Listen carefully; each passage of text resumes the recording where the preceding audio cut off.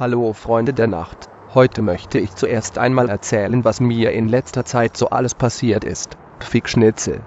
Naja, also da wäre als erstes mein ungewolltes Treffen mit Simon de Sü.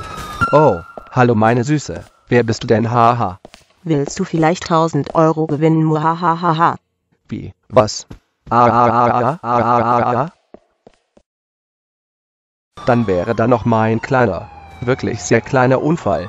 Ich kann Motorrad fahren, Not. Naja, man kann ja nicht immer Glück haben. Ah, ah. Aber das Lustige daran war, dass ich die Schmerzen schon vorm Aufprall spüren konnte.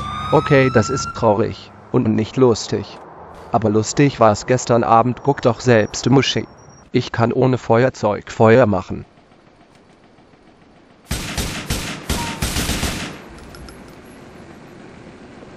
Sich brennt nicht Salz in einer frischen Wunde brennt aber sie nicht. Sie ist wohlmünde. Oh stimmt, ich hatte ja noch einen Unfall. Ich gehe spazieren. Aua. Aua. Okay, das war's jetzt. Macht's gut. Bis zum nächsten Mal. Hi Leute, was geht? Simon Desu hier. Ich mache jetzt ein neues Gewinnspiel und verarsche euch nochmal, aber ist ja egal. Schlampe.